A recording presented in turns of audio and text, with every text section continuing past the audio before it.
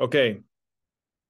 Now, um, I don't really think this is going to be that difficult for you. It seems like a lot. Don't judge a lot just by the numbers. All right. You'll see what I'm talking about in a minute. You are supposed to, in this section, translate each phrase into an algebraic expression. Now, an algebraic expression is simply an expression with addition, subtraction, multiplication, division. There's no equal sign. All right. So all you're doing is writing down what operation you think there is. All right. Now, what I want to do is try to get that to stop. All right. So, number one, it says $4 less than the cost of a sweater. So, stop and think about it. All right. Now, let's say the sweater cost a $100. How much is going to cost now? 96. So see how your brain automatically did that, right? So just because there's a variable involved doesn't mean it's harder. All right. So what do we want to call the sweater? What letter? L. S. Now I don't really like S's because my S's look like what letter? Five. Or number five. That's right. I don't like to use S, but you can use S. Now, if you're going to use S, generally what I say is I write it like this, and then I put a little things at the end. Oh, that's not the right. All right. So my answer is going to be S what? Yeah, that's it, guys. I told you this is going to be easy. All right. So here we go. Sorry about my malfunction here, but S minus four. Now, does everybody understand what I say? Sometimes your brain isn't sure if it's four minus S or S minus four. Does everybody understand that? Yeah. So if you put a number in, your brain automatically does it for you. All right. So that's kind of a little helpful little trick if you're unsure. All right, about the operation and and the order in which you write down the operations. All right. So 13 more students than teachers. 13 more students than teachers. Go ahead, tell me. T plus thirteen. Teachers. T plus 13. Notice we're adding 13. We're not adding teachers. Does everybody understand that? Mm-hmm. That's why the 13 comes after the variable, and the variable we're going to call T. All right. Now, the money you earn babysitting is at a rate of $10 per hour. So, what expression can I write for that? X times 10 is pretty good. But since we're talking about hours, wouldn't it be a good idea to just say what? And maybe H. That's what I was thinking also. Now, do you write H10 or do you write 10H? Actually, in algebra, in our pre algebra, also, generally with multiplication, we write the number first and then the variable. So we're just going to say 10H. Now, does everybody understand that represents 10 times H? Do we agree with that? All right, that's not bad. No, we don't do the multiplication sign, and I'll tell you why. And and not even the dot anymore. All right. The reason why we don't do that is because mathematicians are lazy. We don't like to write out everything. All right. We do it as quickly as we possibly can. That's why the symbol isn't there. All right. It's always multiplication if the symbol is not there. All right. If you write 10.h, do I really care? No, I don't really care. All right. I don't like the X symbol for multiplication anymore because now we're into variables. So that looks like a what? That looks like an X. So it will cause possibly some confusion. All right. So number four, it says 30 pencils divided among some students. Yes, ma'am. So I originally had something else, but now I think it's so is it S divided by thirty? So what are you dividing? The students or the pencils? The pencils. So that goes first. All right. So we're going to go, that's okay. We're going to go 30. Now, how do you do a division sign? You put it like a dot. Always a fraction. That is correct. Very smart. We don't do the division sign anymore. We don't do this. All right. We are past that now. All right. What we do is we do a fraction bar. So we say 30 divided by some students. And because you guys are telling me S, I'm going to show you. That's how I draw my S's so it doesn't look like a five. Everybody's good with that, right? Yeah. Yeah, that's not that hard, guys. Everybody's good with that? Yep. All right, let's check out number five now. Uh-oh, you guys know how to replace variables with numbers, right? All right, so Talbot, what's number five gonna be? That is correct. And just tell me the answer. Yes, you can just write down twenty-five on your paper. That's easy mental math. That's what we're practicing. All right, Sydney, what's number six? Three. Now, don't put my answers. Everybody understand what I'm saying, right? You do it yourself. The answer is three. You're checking your work. All right, Andrew. You're up, number seven. Okay, so the H is a ten, so twenty minus ten equals ten plus G which is six, so sixteen. Yeah, look how easy that is, guys. 16. Anybody have any issues? Mm-hmm. All right, Bennett, you get to tell me about number eight. Uh-oh, we got Luca, you got a question? All right, I'll let you do the next one after Bennett. Go.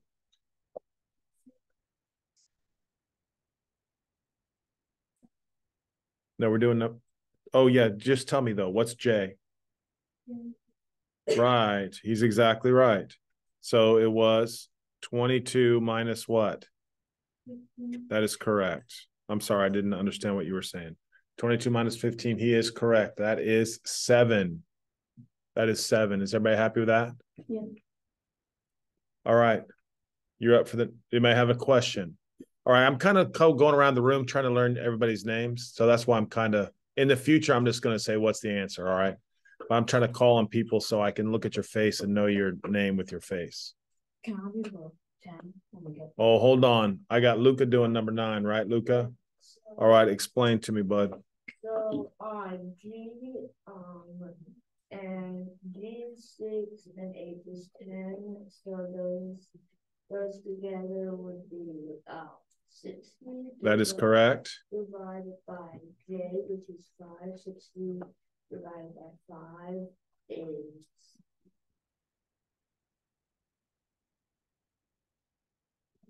It's twelve. It is 12. Yeah, Thank you. Thank you. Now, eyes up here, please, because I'm going to show you a shortcut to division. All right. Remember, my goal is to try to help you, everybody with mental math. All right. Everybody should be able to look at that. Let me show you how I learned how to do division 60 divided by five. I just say five goes into six how many times? Twelve. No, no, no. Five goes into six once. I know the answer is 12. I'm just trying to show you. Now, when I do six minus five, what does that get? So I put a one in the corner up here. Have you guys ever seen that before? And now five goes into what number? Two. No, five goes into 10 two times. There you go. That's the shortcut for division. All right, let me give you another example. Let's see how you're doing. All right, look up here on the board. Let's practice our mental math for division. Let's say I said to you, what is 78 divided by six? So how many times does six go into seven people? One. How many left over? How many left over? One. So I put a one in this corner. Now that number's not eight, it's what? Eighteen. 18. Six goes into 18 Three. three times. Isn't that a cool way to do that? All right, let me show you one more just to make sure. Remember, I'm not interested in answers, guys. I'm inter- interested in you answering my questions that I'm having. All right, so I'm going to try one a little bit harder. All right, I'm going to say, uh oh, I don't like the pencil on this. Let's say I said to you, what is 96 divided by four?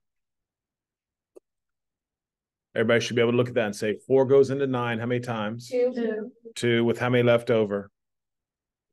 One.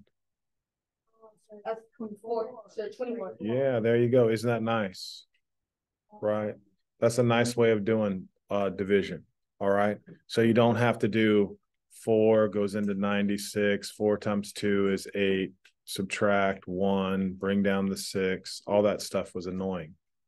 All right. You're big kids now. You should be good at mental math. All right. That's what we're going to work on a lot.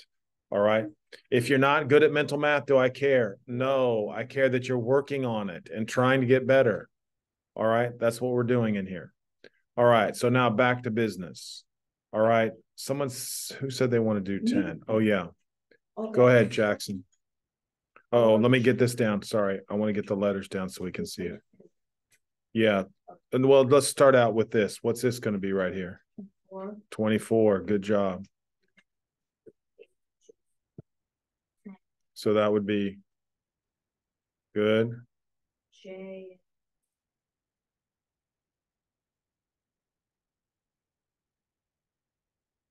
No, just tell me, look up what number one. J is, J is five. Just tell me. Yes, yes, hold up. I'm putting up the board now. Now what do I do? Thirty minus twenty. Yep, Plus twenty-four. yep. Thank you. That's nice. Anybody have any questions with that? All right, I feel good about this. All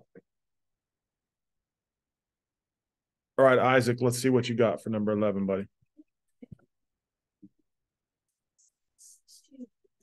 So hold on a second. I'm just gonna write on my notes, just because they're telling me this. One pint is equal to sixteen ounces, and that's true. Okay, Alright, suppose the number of pints of liquid is represented by P. Write an expression to find the number of fluid ounces. So, what are you thinking? uh, I kinda wasn't paying attention to the question because I. I no, no, no, it's all right. No, no, no, you don't have to explain anything. I don't care. Right? I, I, I want to help you. So if you don't understand the question, you just say, hey, I need a little help. And if, if you don't know, it's okay. If you want to give it your best shot, that's my advice. It says, suppose the number of pints. Now let's say we're confused. All right, let's say I have three pints. How many ounces would I have? Um, Yeah, stop there. That's all you need to know. Three times sixteen. So what is represented by the number of pints? Expression, sorry, I thought it was. trying to- Forty-eight. No, no, no, no, stop. No, no, no. I don't want an answer. Tell me, Isaac. What is representing the pints? Um, one pint is. No, no, no. What letter? Oh, P. P. So here's what I'm trying to teach everybody now. Look up. It's telling you that the pints is labeled what? P, P. So if I want to know how many ounces are in P pints, what would you tell me? Shh, don't anybody tell wait. How many pints are there? Uh-huh. Nope, nope, nope. Listen to the question. I'm gonna ask you one more time. Look how your brain worked. I said, how many ounces are in three pints? And you said, Three times six. right. So if I said, how many ounces are in six pints, you would do what? Six, six. Okay, I'm gonna get a little wild and crazy. Let's say you had hundred and fifty pints. How many ounces? Wait, now now you lost. me. Hundred and fifty pints. How many ounces would that be? Sixteen times. Right. I just said 150. 16 times what? 150. I don't care what the answer is. Now listen to me. What if I have P pints? How many ounces would that be? No. No, no, no. P is a any number. What would I do to the number? By?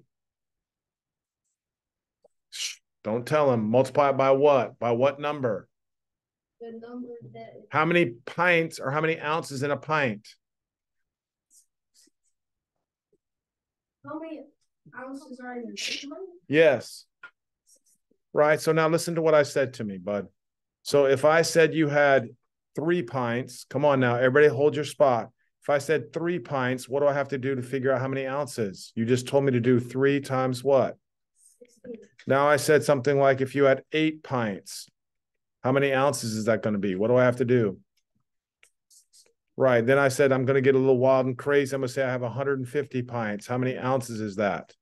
Uh, eight, uh, one hundred fifty pints times sixteen. Right. So now I'm just going to come over here and say, well, let's say I have P pints. Yeah. How many ounces is that going to be? I don't understand. Look, yes, you do, because you just told me all the answers. Sixteen. Yes, that's it. But do we say P times 16 or do we say 16P? 16P is better. All right. Now, see how I figured that out, right? I didn't know. So I just made up numbers for pints. Then his brain said automatically multiply. So you take the simple and you apply it to the complicated, and it's the same process. All right. So, Grant,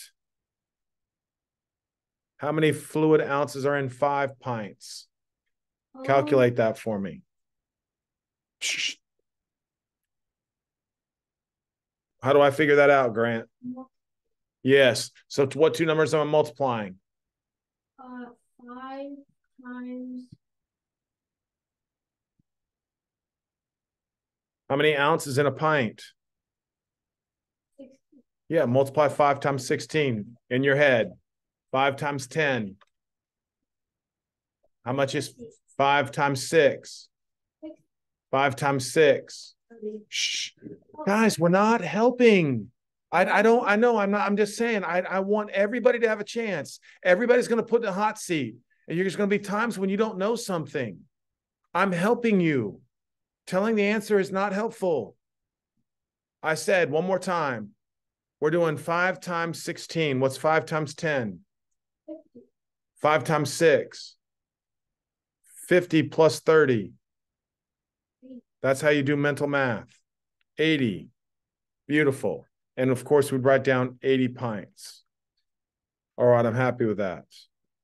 All right, hopefully everybody understands what I'm saying. I want to hear what you have to say. All right, I'm on Hampton. Yes. Three times as many balloons. How are we going to represent that? I, for number twelve.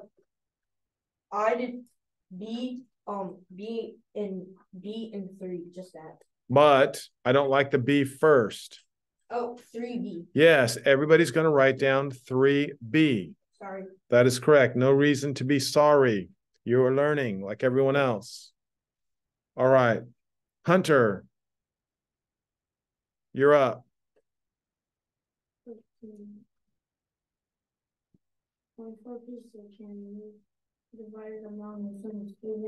What am I going to do? Um. Twenty-four over S. Yes, 24 over S. All right. If you choose another letter, I'm totally fine with that. All right. Talbot, read number 14. Let's go. The number of people is by thirteen, So what would that be? so.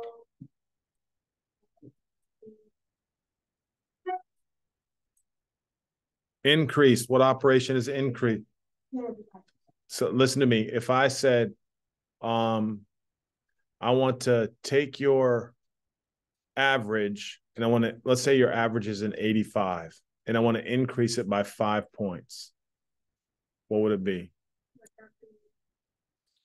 No, no, no. Come on, come on, come on. 85 increased, increased.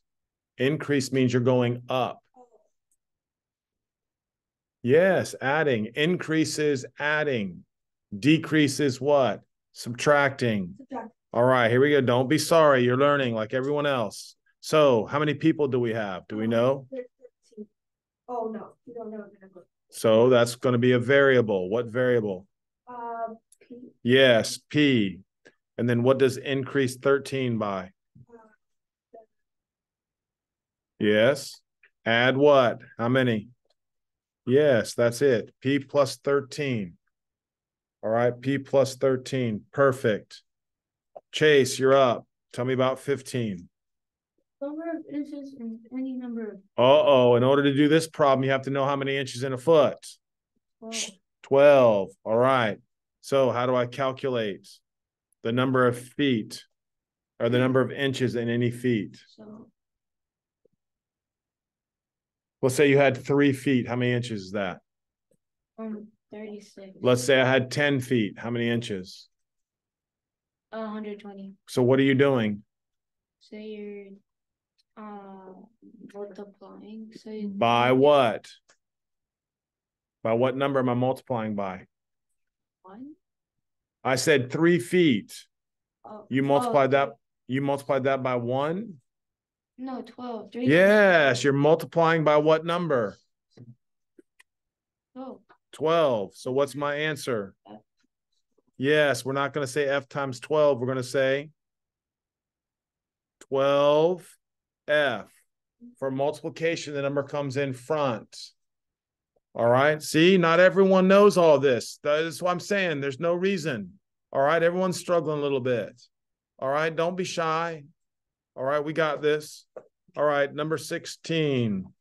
Who do I want? I would like Kellen, go. Yes.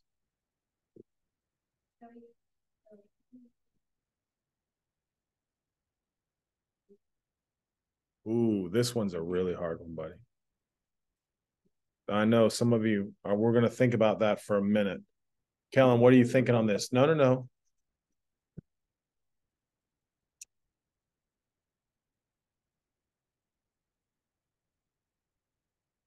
Say it again. I'm okay with that, but that's not entirely correct. Let me give you an example, please. Everyone listen to me. Listen, listen, listen.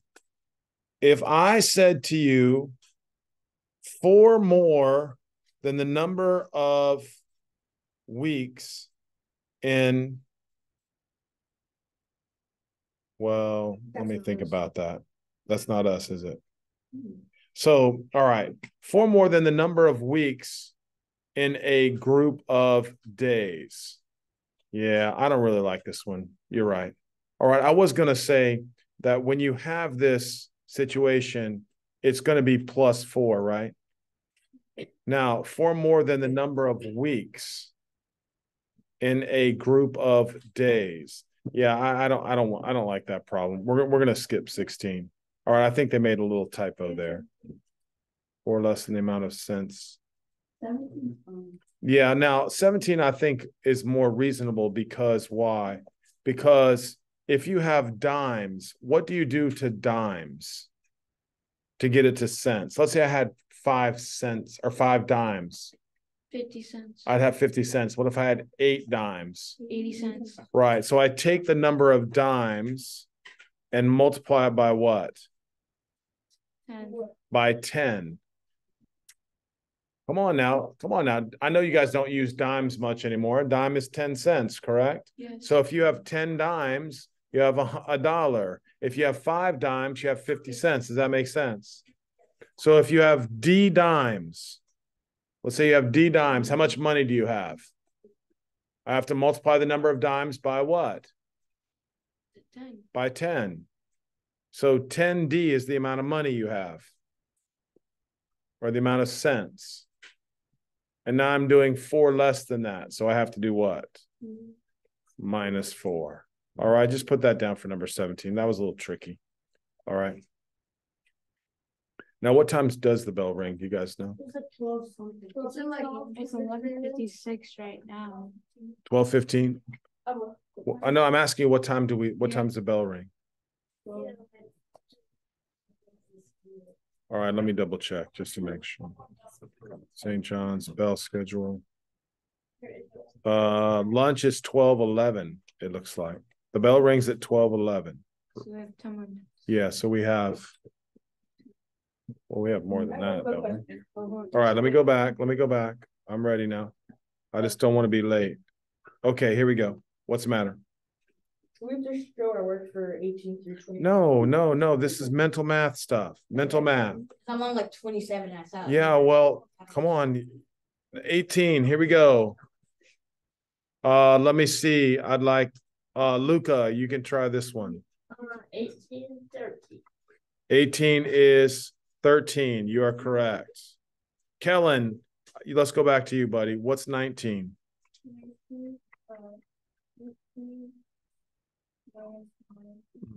Is four. That is correct. Let's, anybody have a question with that? Oh, no. All right, hold on. I'm getting there. I'm getting everybody. Lydia, tell me about 20. I'm 16. Hold on a minute. 22 minus 5. You are correct. That's good. All right. Let's do Sarah. Yes. Uh, and what's that? 18 plus what? Wait a minute. What's B? Oh, four, four, 16. Right, so eighteen plus sixteen, tell me what that is.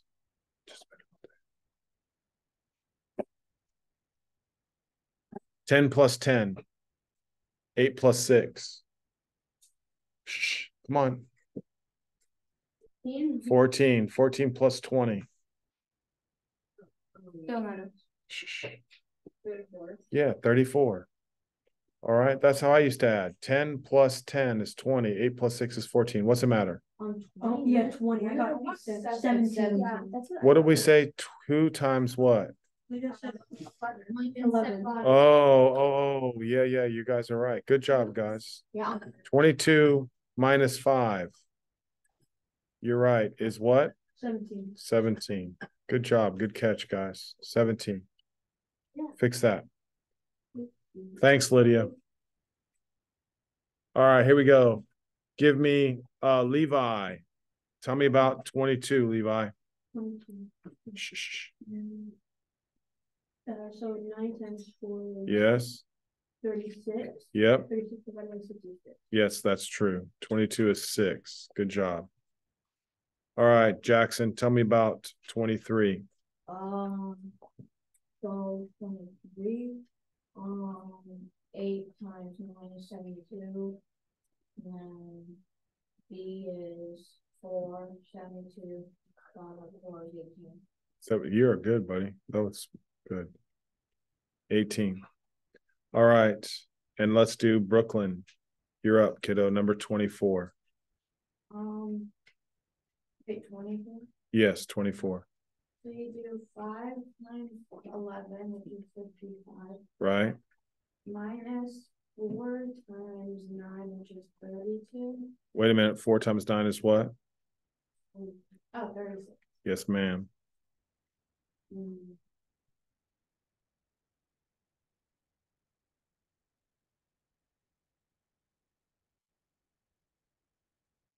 Nineteen? You're right. Good job.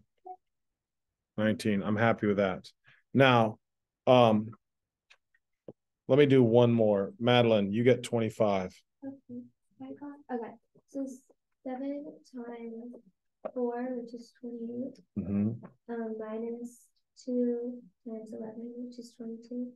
And I got seventeen, Say, what, what's, what's, uh, seven times B again? wait, I got it wrong, I think it's, Come on, you're okay. uh, so seven times four is twenty-eight, Good. Minus, um.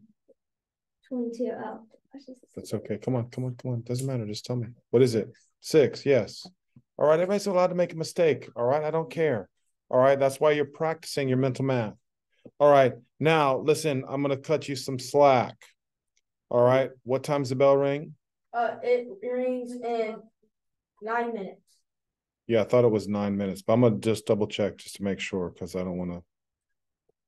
Uh-oh. St. John's bell schedule. We are fifth period, we get out at eleven, so we have nine minutes. All right, we get out at eleven. So let me go ahead and see what I can do for you as far as your assignment goes. So I want to do. Let's start with thirty-two. Well. Let's just do. I'll cut you some breaks. You just don't have to do fifty through fifty-eight. Oh, I'm almost done. All right. I'm almost done. then. There you go. You guys worked hard today. All right. All right. It's all right. Come on. It's not, we're not in a race. All right. It's not a race. All right. Good job today, guys.